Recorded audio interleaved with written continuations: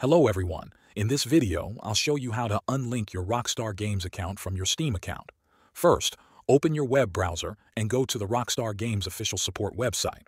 Once the page loads, click the sign in button in the top right corner.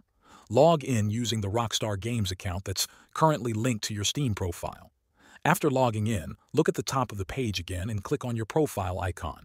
Then, from the Accounts drop-down, choose Settings from the menu. Now you should see a few tabs. Click on the one called Linked Accounts. This page shows you which platforms are connected to your Rockstar account. This will not show you the linked Steam account.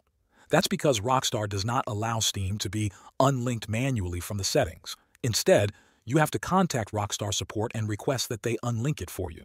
So now let's go back to the Rockstar support page. In the top menu, click on Support. Then in the search bar, type Unlink Steam account and press Enter click on the article that says something like Unlinking Your Steam Account from Rockstar Games. In that article, Rockstar explains that to unlink Steam, you must submit a ticket.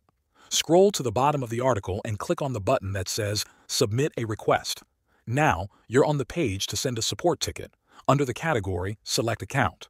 Next, you have to click Account Settings and then Linking Unlinking Accounts. Scroll down and you will see an option to submit a ticket. In the description box, explain your request clearly. You can say something like this. Hello, I would like to unlink my Steam account from my Rockstar Games Social Club account. Try to be polite and to the point. Next, scroll down and attach a screenshot of your linked accounts page showing the Steam connection. This helps verify your request. Once everything is filled out, click Submit. After that, Rockstar Support will review your ticket. It may take a few days for them to reply. That's it.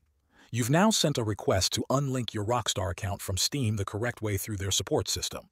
Thanks for watching.